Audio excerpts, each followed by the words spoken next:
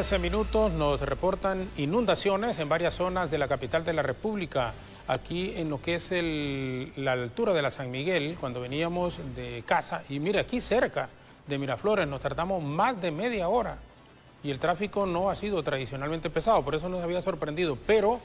aquí eh, hay un congestionamiento terrible como pocas veces, pero es producto de las lluvias que se han desbordado aquí en esta zona de la San Miguel del, del Boulevard.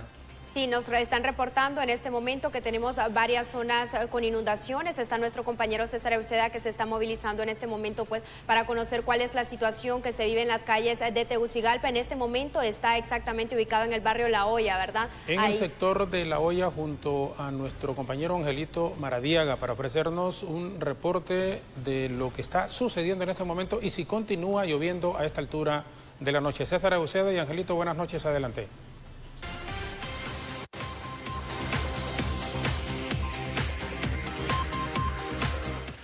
Bien, gracias, licenciado Jorge Zelaya, Ruth Muñoz, tal como ustedes lo mencionan, y es que varios sectores que hemos recorrido, por ejemplo, la San Miguel, la Kennedy, eh, el sector aquí justamente en el barrio La Hoya,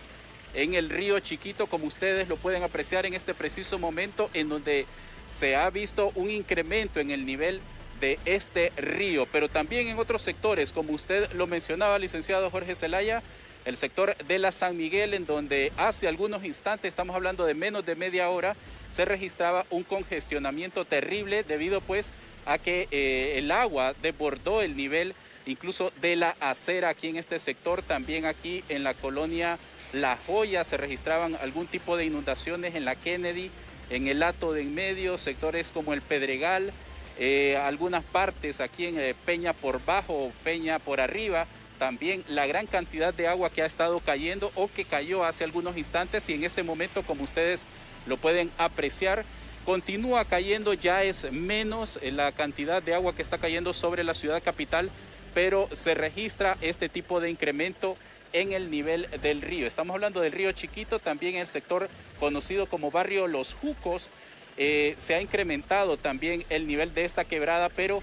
afortunadamente no ha excedido todavía hasta llegar al nivel del suelo. Esto es eh, más que todo lo que se ha registrado hace algunos instantes, licenciado, y como usted puede observar, se registra un incremento en el nivel de este río chiquito. Recordemos que estamos aquí justamente en el centro de la ciudad capital, en donde pues también se ha llamado a que las personas estén pendientes de eh, cualquier tipo de deslave o movimiento de tierra para evitar pérdida de vidas humanas. También el problema de ciertos sectores que se inundan. Recordemos aquí también el sector de la Betania y la colonia eh, aledañas, el sector del Pedregal, en donde sí se ha registrado eh, ya algunas elevaciones de las quebradas y ríos. Nosotros continuamos con ustedes, compañeros, licenciado Jorge Zelaya, Ruth Muñoz, en estudio principal.